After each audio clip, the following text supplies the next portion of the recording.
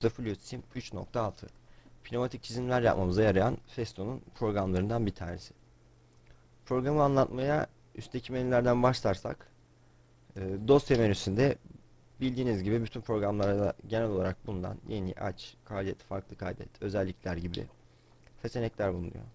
Düzen menüsünde klavye ya da mouse üzerinden de gerçekleştirebileceğimiz kopyala, yapıştır, sil, döndür, yönlendir gibi özellikler var. Uygula menüsünü devreyi çizerken ya da çizdikten sonra kullanacağız. Kütüphanede elemanlarımızın bulunduğu kütüphaneleri seçebiliyoruz. İstediğimiz kütüphaneyi açabiliyoruz veyahut da kendi kütüphanemizi yapabiliyoruz. Ekle menüsünde eleman ekleme, e, eleman listesi ekleme, devre üzerine yazı ekleme, burada çeşitli bulunan elemanları ekleme gibi seçenekler var. Bu seçenekleri kullanarak devreye çeşitli şeyler, devre üzerine farklı şeyler ekleyebiliriz. Didaktik bölümünde e, istediğimiz bir elemanın tanımını, fotoğrafını, bu elemanın fonksiyonunu, bu elemanın anlat tanıtımını, anlatımını, pneumatikle ilgili temel konuların bulunduğu e, bölümü, burada tek tek hepsinin animasyonlu şekilde anlatılmış halini bulabiliriz. Bunun dışında e, fonksiyon gösterimlerini, elemanların, alıştırma bölümünde bulunan e, hazır devrelere bakabiliriz. Sunum bölümünde bulunan çeşitli sunumlarda kullanılabilecek e, resimlere bakabiliriz. Ve eğitim filmleri var burada. Bu filmler e, CD'de yer aldığı için şu anda izleyemiyoruz. Bizden CD'yi yerleştirmemizi istiyor. Proje menüsünde yeni proje oluşturabiliriz. Yaptığımız projede birden fazla devre kullanabiliriz. Bu devre üzerinde değişiklikler yapabiliriz. Sonra bu projeyi kaydedip başka bir yerde gösterebiliriz. Görünüm menüsünde devreyi çizerken e, devreyi büyütüp küçültebileceğimiz, orijinal büyüklüğünü ayarlayabileceğimiz, fare imlecinin büyüklüğünü ayarlayabileceğimiz, araç çubuğunu yani pro kısaca program üzerindeki çeşitli araç çubuklarını, çeşitli büyütüp küçültme işlemlerini buradan değiştirebiliriz. Opsiyonlar bölümünde e, simülasyon, ses, didaktik ve A bölümü bulunuyor. E, simülasyondan yaptığımız devreyi izlerken devrenin çalışma hızını, ses bölümünden devre çalışırken çıkan sesleri kapatıp açabileceğimiz özellikler var. Didaktik bölümünde sunumları ya da animasyonları izlerken bunların hızlarını hangi hızda ilerlemesini istediği istiyorsak bu, buradan ayarlayabiliriz. A seçeneğinde de e, çizeceğimiz alanda oluşturduğumuz A yani şu şekilde yapalım.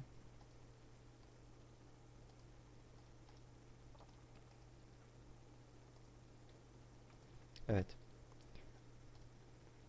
Çizim alanımızın üzerinde böyle bir A gözükmesini istiyorsak e, bu A'daki çizgilerin arasındaki büyüklüğü çizgi ya da e, nokta olarak ayarlayabiliriz bunları. Çapraz noktalar, çizgiler olarak ayarlayabiliriz. Biz nokta olarak seçelim ve noktalar arasındaki uzaklığı da orta olarak belirleyelim. Gördüğünüz gibi bu şekilde oluyor. Pencere menüsünde program içinde açık olan pencereleri sıralayabiliriz ve o anda açık olan pencereler üzerinde değişiklikler yapabiliriz. Burada gözüktüğü gibi. Burada da e, yardım içeriği, yardım kullanımı, yani kullanım kılavuzu gibi program hakkında çeşitli bilgilerin bulunduğu şeyleri bulabiliriz. E, Flusim hakkında detaylı bilgi sahip olabiliriz burada. Web sitesi gibi. Programın içinde açık olan pencerelerden bahsedecek olursak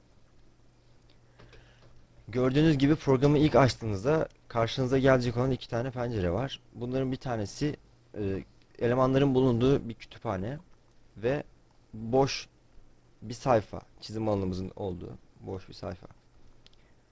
Bu kütüphanede yer alan elemanlar programı siz ilk açtığınızda size karışık gelebilir elemanların yerleri.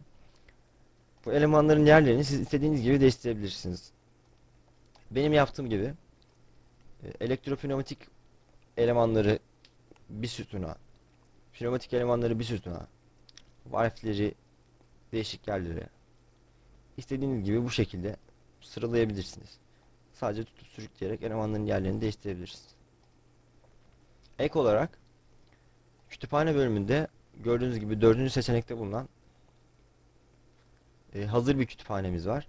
Bu kütüphanede de genel olarak kullanılan hazır yapılmış harfler bulunuyor. Bu harflerin üze- üzerlerinde egzozları, yayları, işte kontrol şekilleri nasıl kontrol etmek istiyorsak hepsi hazır olarak eklenmiş.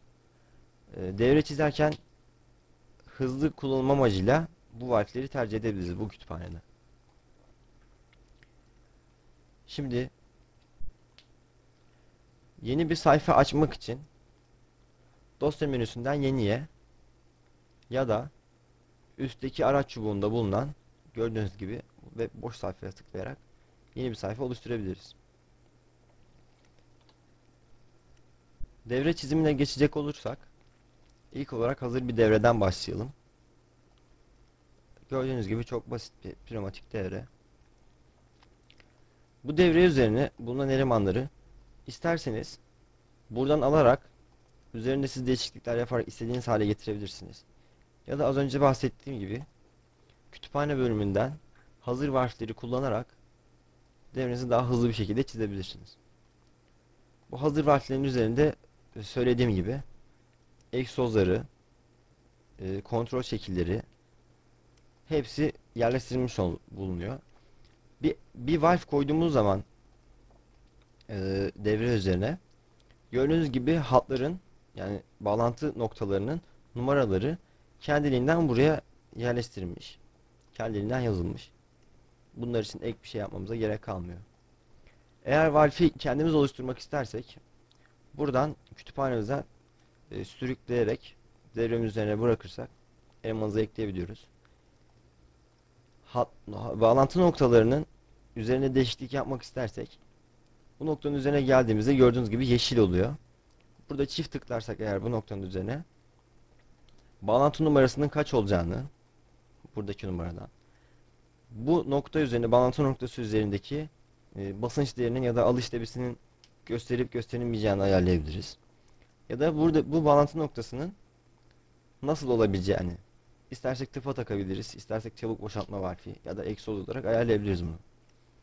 Buradaki 1.2 valfi gibi bir şey yapmak istersek buradan gördüğünüz gibi 3 numaralı hattın 3 numaralı hattayız şu anda. 3 numaralı bağlantı noktasındayız. Gördüğünüz gibi egzozumuzu seçiyoruz.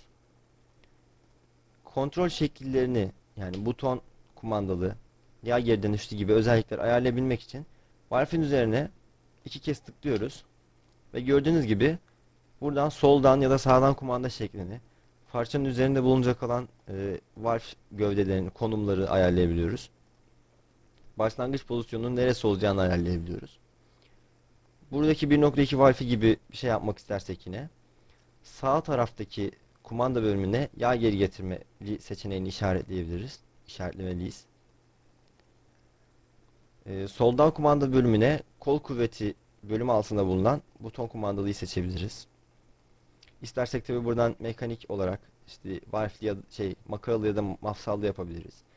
Pneumatik bölümünde elektropneumatik ya da ele elektropneumatik malzemeler oluşturmak için buradan e, selenoid valve şekilleri seçebiliriz. Ya da e, pneumatik kumandalı valve oluşturmak istersek buradan seçebiliriz yine. Biz şu anda 1.2 valfine göre yaptığımız için bu kadar şey yeterli. Tabi aynı şeyleri sağdan kumanda için de yapabiliriz. Başlangıç pozisyonumuz gördüğünüz gibi burası. Yani sıfır konumu valfin. Burada gördüğünüz seçtiğimiz pozisyon. Buradan isterseniz valfin ismini değiştirebilirsiniz. Buradan evet dediğimiz zaman gördüğünüz gibi aynı elemanı yapmış olduk. Tabi bu elemanı hazır olarak buradan da alabiliriz. İkisi de aynı. Şimdi biz bir elemana numara vermek istediğimizde gördüğünüz gibi kütüphane bölümünde bulunan text adlı hmm, elemanı ya da text adlı şeyi tekstimizi alarak devrenin üzerine bıraktığımızda sürükle bırak yöntemiyle bu elemana numara verebiliriz. Bu tekste çift tıklayarak metinde ne yazacağını e, metnin nerede bulacağını ortada sağda ya da solda Yazı tipini buradan değiştirebiliriz. Metni çerçeveleyebiliriz. Çizim düzlemini oluşturabiliriz. Bu çizim düzlemini kendimiz ayarlıyoruz. Gördüğünüz gibi e, e, numaramızı böyle bir çerçeve içine alabiliriz. İstemiyorsak bu çerçeveyi de kaldırabiliriz. Bu numaranın bu valfe ait olduğunu gösterebilmek için iki elemanı da e, tutup sürükleyerek seçebiliriz. Ya da kontrol tuşuna basılı tutarak klavye üzerindeki iki elemanı da ayrı ayrı seçebiliriz. Ve iki elemanı da seçtiğimizde seçtikten sonra sağ tıklayıp elemanların üzerine gruplandır dediğimizde gördüğünüz gibi bu iki eleman tek bir grup tek bir eleman gibi devremiz üzerinde gözüküyor. Ve bu numara bu valfe ait oluyor. Bu numarayı tekrar değiştirmek istersek yine seçtiğimiz gruplandırılmış elemanın üzerine sağ tıklayıp grubu grup çöz dediğimiz zaman iki eli iki eleman birbirinden ayrılıyor. Tekstimiz ve 1.2 valfimiz birbirinden ayrılıyor ve tekrar bu numarayı değiştirebiliriz. Ya da bu numarayı başka bir elemanın, elemanla birlikte gruplayabiliriz. Gördüğünüz gibi. Bu şekilde yapabiliriz. Gördüğünüz gibi burada bir kompresörümüz var. Kütüphanemizde bulunan kompresör. Ee, burada bir şartlandırıcımız var. Yine bütün elemanlar kütüphanemizde bulunuyor buradaki. Hatları bağlıyoruz. Hatları bağlamışız burada. Gördüğünüz gibi hatları deneye sürükle bırak yöntemiyle çok kolay bir şekilde bağlayabiliriz. Burada oluşan T'yi e, daha sonra bağlantı yapabilmek için kullanabiliriz ya da bağlantı yapmayacaksak silebiliriz. Gördüğünüz gibi buradaki 5 bölü, 5 bölü 2 harfi içinde yine aynı şeyler geçerli. Numaraları kendiliğinden geliyor bağlantı noktalarının numaraları. Üzerine çift tıklayarak e, pneumatik kumandalı yay geri dönüşlü olarak ayarlayıp başlangıç pozisyonunu seçerek evet dediğimizde bağlantı noktalarına da e, gerekli değiştirmeleri yaptığımızda hazır olarak kullanacağımız harfin aynısını yapmış oluyoruz.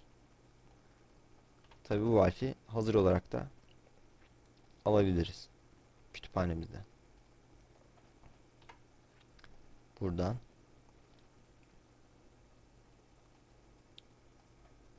gördüğünüz gibi. Ve bir devremizin üzerinde ve bir silindirimiz var. Ve gördüğünüz gibi devremizin üzerinde bir e, silindirimiz var. Bu silindirin özelliklerini yine bu silindirin üzerine çift tıklayarak açılan pencereden değiştirebiliriz. Silindirimizin kuvvetini, maksimum stroğunu, pistonun konumunu, hangi konumdan başlayacağını, pistonun alanını, sekman alanını, pistonun hızının ve kuvvetinin gösterilip gösterilmeyeceğini istediğimiz gibi, istediğimiz gibi buradan de değiştirebiliriz. Ve buradan açtığımız bu pencereden kul- kullanma düğmeleri oluştur adlı seçenekten açılan pencerede pistonun altında bulunacak olan makaralı ma- e, ya da mafsal elemanları, sensörleri daha doğrusu piston kolunun altında bulunan elemanların hepsinin yerlerini belirtebiliriz burada. Mesela 100. milim e, buradan 1.2 valfinin 100. milimetrede bulunduğunu gösterebiliriz. Buradan e, elemanın bulunacağı uzaklığı istediğimiz gibi değiştirebiliriz. Santimetre, metre, inç, feet gibi. Şu anda istemiyoruz. Buradan bu seçenekli işaretleyip evet dediğimiz zaman gördüğünüz gibi pistonumuzun önünde pistonumuzun yanında pistonun kuvveti ve devreyi çalıştırdığımızda pistonun hızı da gözüküyor.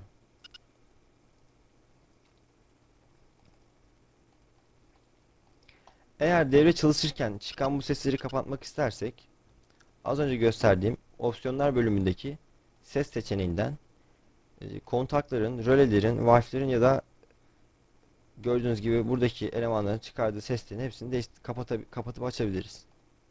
Bütün sesleri kapattığımızda devremiz hiçbir ses çıkmadan çalışacaktır. Gördüğünüz gibi koyduğumuz şartlandırıcının yanında üzerinden kaç bar basınç kaç barlık hava geçtiğini gösteriyor. Devrimizin e, pistonumuzun yanında hızlı gözüküyor. Eğer devrenin çok hızlı çalış, çalışmasını istemiyorsak gördüğünüz gibi pistonun böyle bir anda ileri gidip gelmesini istemiyorsak yine opsiyonlar menüsündeki simülasyon seçeneğine tıklayarak buradaki sayıyı değiştirerek devremizi hızlatabilir, hızlandırabiliriz ya da yavaşlatabiliriz. Bu sayıyı büyüttüğümüzde devremiz daha yavaş çalışacaktır. Gördüğünüz gibi buradaki bir sayısını 10 yapalım. Ve devreyi tekrar çalıştırdığımızda pi- pistonumuzun daha yavaş ileri gittiğini göreceğiz. Buradaki sayıyı daha da arttırırsak eğer örneğin 50 yapabiliriz. Pistonumuzun daha yavaş ileri gittiğini görebiliriz. Buradaki e, silindir hareketinin gerçek zamanlı koru ve akıcı hareket gösteri seçenekleri var. Gerçek zamanlı koruyu seçtiğimizde e, sayma işlemi yapan elemanların, geri sayım yapan elemanların falan gerçek zamanlı koruyarak işte bu sayımı gerçekleştirdiklerini, gerçekleştirmelerini sağlayabiliriz. Akıcı harekette ise işte bu sayımlar ya da pistonun ileri gidiş gelişini hızlı hale getirebilerek devreyi daha akıcı bir halde gö- gösterilmesini sağlayabiliriz. Böylece e, devre hız devrenin daha hızlı çalışarak daha akıcı bir gösterim olmasını sağlayabiliriz. Devre üzerindeki basıncı değiştirmek istersek eklediğimiz kompresörün üzerine bu elemanın üzerine çift tıklayarak bunun çalışma basıncını e, bar cinsinden megapascal ya da PSI cinsinden değerini belirterek değiştirebiliriz. Bu elemanın üzerine sağ tıkladığımızda ya da herhangi bir elemanın gördüğünüz gibi kes kopyala yapıştır ve sil işlemlerini yapabiliriz. Bunları klavye üzerinden de gerçekleştirebiliriz. Yönlendir dediğimizde e, birkaç tane elemanı seçtiğimizde bu seçeneği kullanabiliyoruz. Düşey merkezde yatay merkezde bu şekilde elemanları üst üste toplayabiliriz. Ama genelde ka e, karışıklığa neden olacağı için bu seçeneği kullanmıyoruz. Evet, elemanımıza sağ tıkladığımızda yine burada bir döndür seçeneğini görüyoruz. Bu seçenekle elemanımızı saat yönünün tersinde seçtiğimiz derece kadar istediğimiz gibi döndürebiliriz. Elemanların devre üzerinde nasıl bulunacağını, nasıl bulunacağını bu şekilde ayarlayabiliriz. Bütün elemanları bu şekilde döndürebiliriz. Gördüğünüz gibi.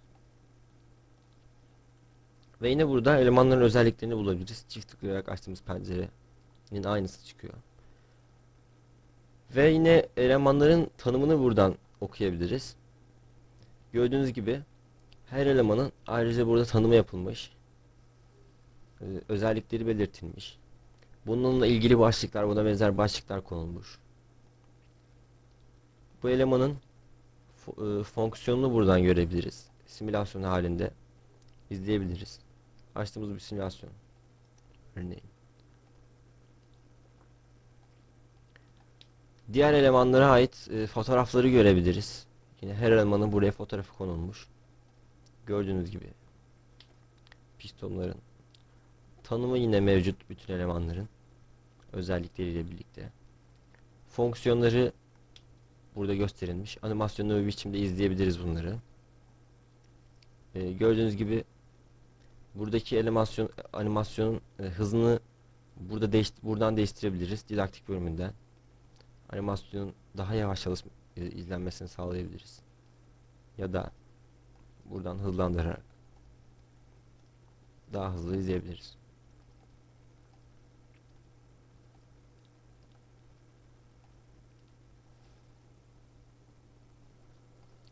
Bu devrenin aynısını boş bir sayfa oluşturmak istersek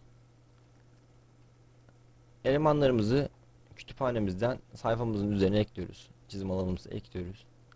Gördüğünüz gibi kompresör şartlandırıcımız 1, 1 bölü 2 valfini 1.2 valfini buradan hazır olarak alabiliriz. Yine aynı şekilde 5 bölü 2 valfini buradan alalım. Pistonumuzu buradan seçelim ve ekleyelim. Hatları birbirine tutup sürükleyerek bağlayalım.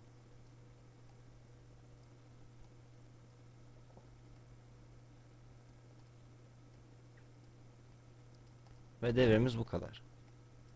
Gördüğünüz gibi valfler üzerinde hiçbir değişiklik yapmamıza gerek yok. Hepsinin egzozları, kumanda biçimleri yerleştirilmiş. Bizim yapmamız gereken tek şey bu elemanları numaralandırmak. Hepsinin üzerine bir text ekleyerek bu text'in numaralarını yazıp elemanlarla birlikte gruplandırırsak devrimiz bitmiş oluyor.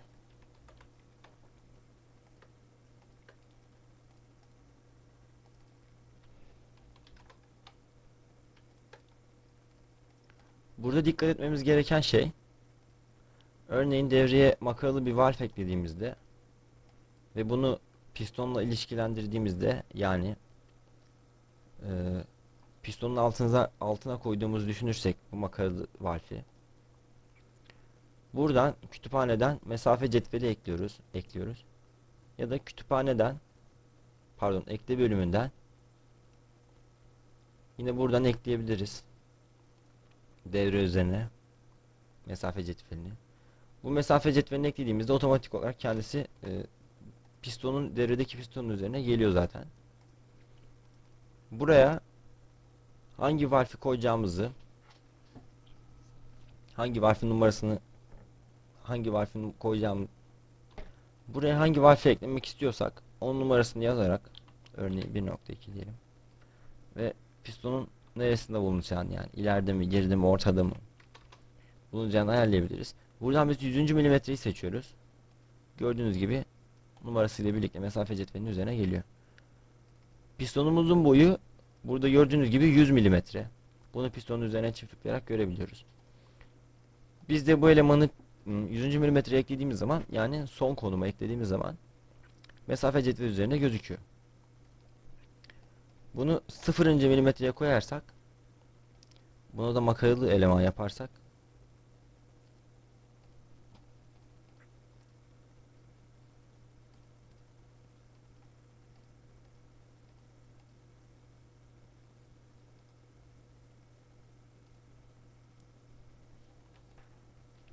Gördüğünüz gibi elemanımızı makaralı bir şekilde yapıyoruz. Makaralı eleman olarak, makaralı valf olarak ayarlıyoruz. Gördüğünüz gibi elemanımızı makaralı valf, makaralı valf olarak ayarladık. Gördüğünüz gibi elemanımızı makaralı valf olarak ayarladık. Fakat 0. milimetrede yani en baş konumda bulunmasına rağmen valfimizin basılı olmadığını görüyoruz. Halbuki bunun basılı olmuş. Yani birinci konumda olması gerekiyordu. Bu e, numaralandırmamızı yaptık. 1.2 olarak. Buraya da 1.2 yazdık. Burada dikkat etmemiz gereken şey e, nokta virgül. Bunların ayrımının yapıldığını unutmayalım. Buraya virgül yazdığımız zaman kabul etmeyecektir. 1.2 yazdıysak diğer elemanın ismine buraya da 1.2 yazmak zorundayız. Fakat gördüğünüz gibi dev, devre program numarayı tanımamış gibi. Gördüğünüz gibi bu elemanın numarasını makaralı ya da mafsallı bir valve koyduğumuzda bu elemanın numarasını e, yan, yanındaki makara üzerinde bulunan küçük noktanın üzerine geldiğimizde gördüğünüz gibi burası yeşil oluyor. Buraya çift tıkladığımız, tıkladığımız zaman bu elemanın numarasını buradan ayarlay ayarlayabiliyoruz. Gördüğünüz gibi bunu 1.2 yaptığımız zaman pistonun en baş konumunda bulunduğu için kendiliğinden basılı hale geldi. Bizim bir şey yapmamıza ge gerek kalmadı. Burada pistonun basılı olduğu gözüküyor. Bunu birinci milimetreye alırsak basılı gözükmüyor. Yani bizim için sıfırıncı milimetre devrenin ilk konumu. En baştaki konumu. Şimdi bu elemanımızı kol kumandayla yapalım.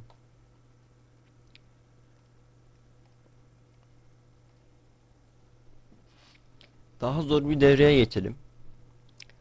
Gördüğünüz gibi devremiz biraz karışık gözüküyor. Bütün elemanlar üzerinde numaralandırmalar yapılmış. Bütün makaralı harfler üzerinde numaralandırmalar yapılmış. Gördüğünüz gibi ilk konumlarda bulunan elemanlar kendiliğinden basılı durumda gözüküyor burada. E, buraya akış kontrol valfleri konulmuş.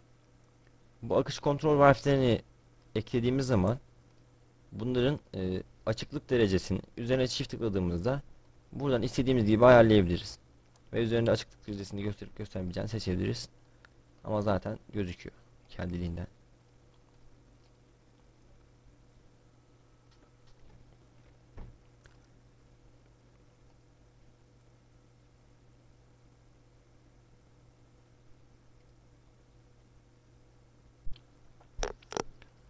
Kaskat devre çizimine geçtiğimiz zaman bildiğiniz gibi kaskat devrelerde bu şekilde hatları oluşturmak oluşturmak zorundayız. Bu hatları oluşturabilmek için yeni bir sayfa üzerinde gösterelim. Herhangi bir eleman ekleyerek buradan daha doğrusu iki eleman ekleyerek bu iki eleman arasında bir hat oluşturalım. Ve bu hatlara yine başka bir bağlantı noktasından T yapalım. Gördüğünüz gibi bu T'lerde oluşan noktalar var. Bu elemanları sildiğimizde bu T'lerde oluşan noktalardan itibaren ele, e, hattın yok olduğunu ve hattımızın burada kaldığını göreceğiz. Bu hattı yine kopyalayıp yapıştırmak istersek bu şekilde olmuyor. T'nin T noktasının üzerine e, sağ tıklayıp kopyala dediğimiz zaman yine o noktanın kopyalandığını ve iki noktayı böyle karşılıklı koyarak sürükle bırak yöntemiyle bu şekilde birleştirip kaskat hatlarımızı oluşturabiliriz. Bu hatları istediğimiz kadar çoğaltabiliriz bu şekilde. Hepsini birbirine bağlayabiliriz. Oluşturduğumuz devrede bütün elemanların numaralandırmaları belirtilmiş. Hepsinin numarası elemanı ile birlikte gruplandırılmış. Konumları yazılmış. Gördüğünüz gibi. Devreyi çalıştırdığımızda da gayet düzgün bir şekilde çalıştığını göreceğiz.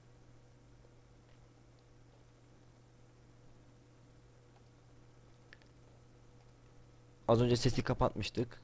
Buradan sesi açarak devrenin e, devrede çalışan elemanların seslerinin çıktığını duyabiliriz.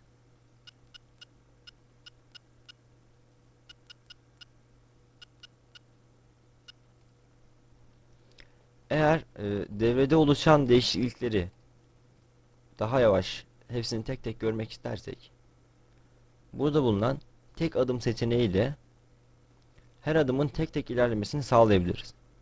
Gördüğünüz gibi şu anda devremiz çalışıyor. E, herhangi bir elemana bastığımızda bu eleman bir adım ilerliyor. Tekrar bu tek adım seçeneğine tıkladığımızda bir sonraki adım gösteriliyor. Bu elemandan geçen havanın nerelere gittiği, hangi elemanların konumunu değiştirdiği hepsi tek tek gördüğünüz gibi tek adım olarak hepsi bir gözüküyor.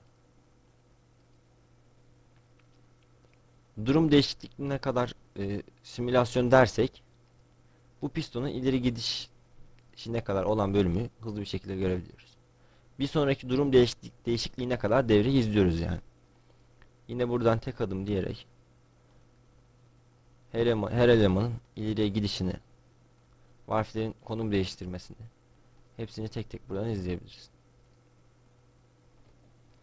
Devrenin büyüklüğünü e, üst araç çubuğundaki seçeneklerden ayarlay ayarlayabiliriz. Devrenin orijinal boyutunu ya da pencereye sığdırılmasını, tümünün gösterilmesini, seçtiğimiz bölümün gösterilmesini sağlayabiliriz. Buradaki artı eksi seçeneklerinden büyüklüğünü ayarlayabiliriz istediğimiz gibi.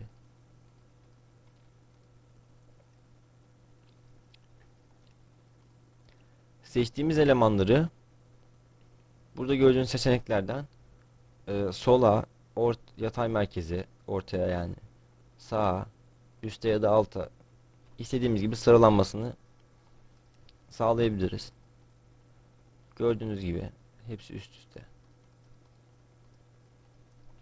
Bu seçeneği elemanları seçip sağ tıkladığımızda da yönlendir bölümünde bulabiliriz. Yine kes yapıştır e, işlemlerini burada gördüğünüz seçeneklerden gerçekleştirebiliriz. Elemanları kesip kopyalayarak daha sonra istediğimiz yere yapıştırabiliriz. Buradan geri al seçeneğiyle tek adım olarak hepsini geri alabiliriz teker teker. Uygula bölümünde bulunan, uygula menüsünde bulunan seçeneklerden devrenin çizim kontrolünü yapabiliriz. Gördüğünüz gibi devremizin üzerine çizim hatası bulunamadı.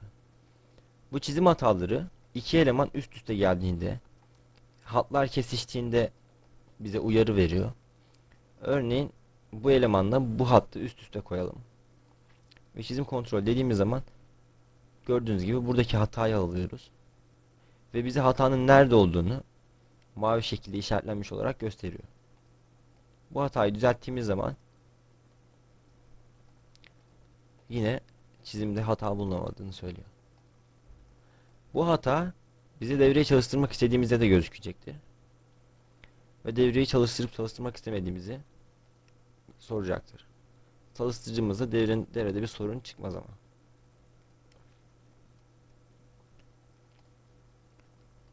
Yine uygula bölümünden devremizi başlatabiliriz, ayara verebiliriz. Yani buradaki seçeneklerin aynıları. Bu şekilde devre çalışırken durdurabiliriz. Gördüğünüz gibi kütüphanede bulunan elemanların isimleri burada Almanca gözüküyor. Fakat menülerimiz Türkçe. Buradan eleman bul dediğimizde buradan elemanların isimlerini e, yazarak arayabiliriz. Fakat Almanca olduğu için şu anda bunu yapamıyoruz. Buradan kütüphane menüsünden yeni dediğimiz zaman oluştur kendi kütüphanelerimizi oluşturabiliriz buradan. Oluşturacağımız kütüphanenin ismini yazabiliriz bu- buraya. İsmini yazıyoruz ve kütüphanemize eklemek istediğimiz elemanları gördüğünüz gibi diğer kütüphaneden e, sürükleyerek yapabiliriz. Kendi kütüphanelerimizi oluşturabiliriz. Buradan hazır kullanacağımız elemanları seçe- seçebiliriz örneğin. Bu kütüphaneyi kapattığımızda oluşturduğumuz kütüphane bu menü altında gördüğünüz gibi ismi şeklinde gözüküyor.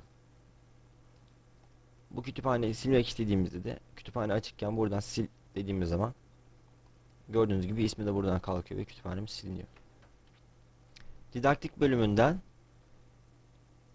pneumatik temel konularına girdiğimiz zaman gördüğünüz gibi burada Almanca olarak yazılmış temel konuların anlatımını bulabiliriz. Eleman fotoğraflarını tek tek görebiliriz. Buradan kütüphaneden seçtiğimiz bir elemanın fotoğrafını örneğin. Elemanın tanımını yine buradan Türkçe bir şekilde bulabiliriz. Az önce gösterdiğim gibi. Fonksiyon gösterimini buradan elemanların tek tek bulabiliriz. Gördüğünüz gibi buradan kompresörlerin, valflerin çalışma şekillerini izleyebiliriz. Animasyonlu bir şekilde.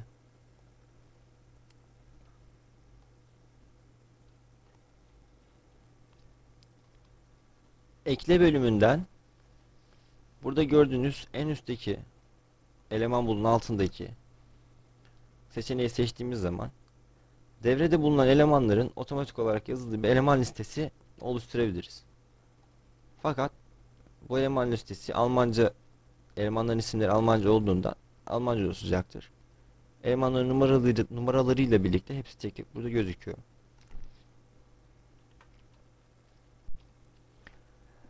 Ekle menüsünden yine en sonunda bulunan seçeneği seçtiğimiz zaman devreye otomatik olarak e, çizilen bir adım diyagramı ekleyebiliriz. Buraya diyagramda gözükmesini istediğimiz elemanları tutup sürükleyerek bu şekilde ekleyebiliriz. Devrede nasıl çalıştıklarını yine bu diyagram üzerinden otomatik olarak oluşturarak görebiliriz. Gördüğünüz gibi devre çalışırken diyagram kendiliğinden burada oluşuyor. Bu diyagramın daha geniş bir şekilde gösterilmesini istiyorsak bu şekilde genişletebiliriz diyagramı. İstediğimiz gibi daraltabiliriz. Rengini ayarlayabiliriz.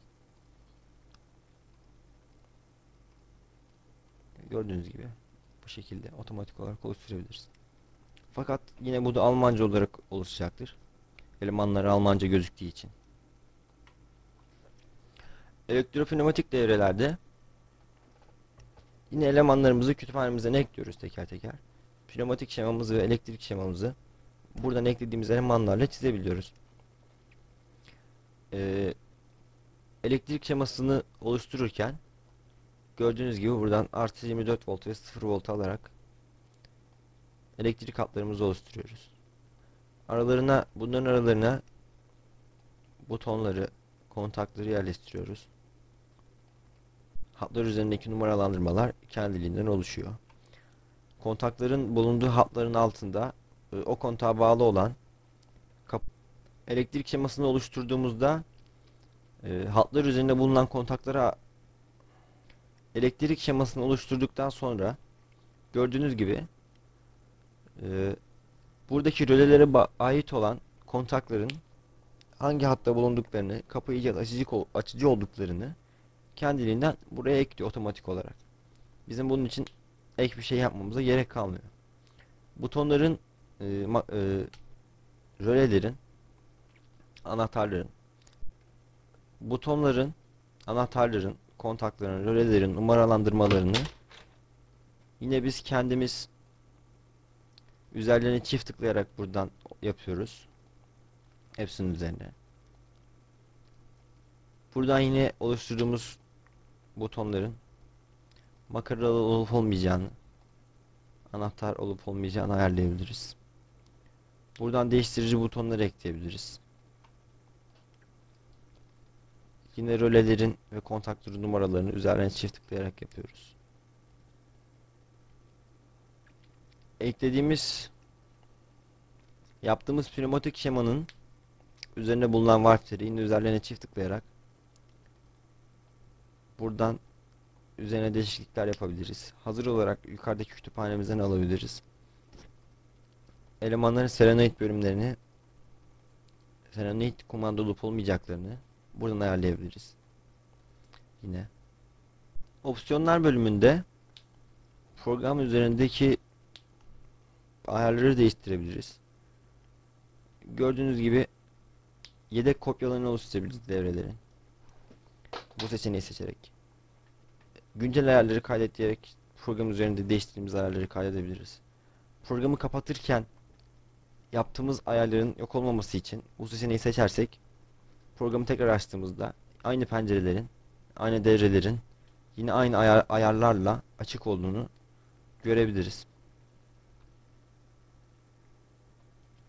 Dosya bölümünden özellikleri geldiğimizde devre hakkındaki bilgileri değiştirebiliriz. Buradan devrenin başlığını, yapan kişinin adını, devre hakkındaki yorumu yazabiliriz. Resim büyüklüğüne geldiğimizde e, çizdiğimiz devrenin hangi sınırlar için içerisinde çizilebileceğini buradan sayfa büyük sayfa büyüklüklerine ait olarak değiştirebiliriz. Yine buradan kendimiz sınırlar belirleyebiliriz. Çizdiğimiz devrenin düşey ya da yatay format yani sayfanın dikey ya da yatay olarak olup olmayacağını ayarlayabiliriz. Biraz daha uzaklaştırdığımızda gördüğünüz gibi buradan sayfa sınırlarını görebiliyoruz. Düşey yaptığımız zaman yine bu gördüğünüz gibi değişiyor. Yazdır dediğimiz zaman devreyi aynen bu şekilde çizdiğimiz şekilde istediğimiz gibi boyutunu değiştirebilerek buradan direkt olarak yazdırabiliriz. Yandan üstten bırakacağımız çocukları buradan ayarlayabiliriz.